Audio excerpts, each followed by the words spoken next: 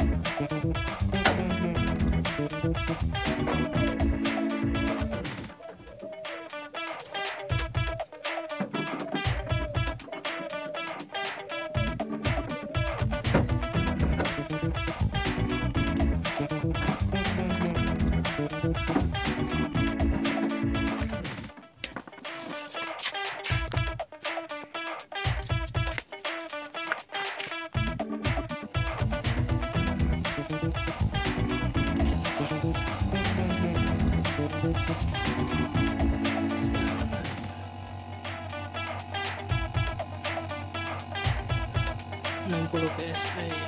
Filmnya R22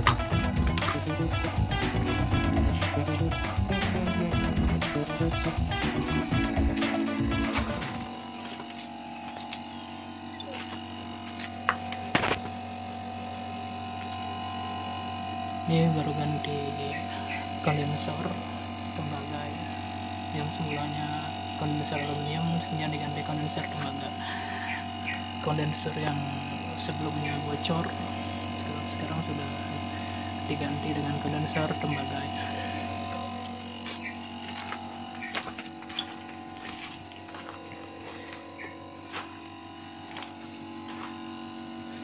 Oke, terima kasih sudah menonton tutorial cara pemasangan kondensor ganti pergantian kondensor dari kondensor aluminium ke kondensor tembaga yang bocor terima kasih sudah menonton semoga tutorial ini bermanfaat bagi anda semua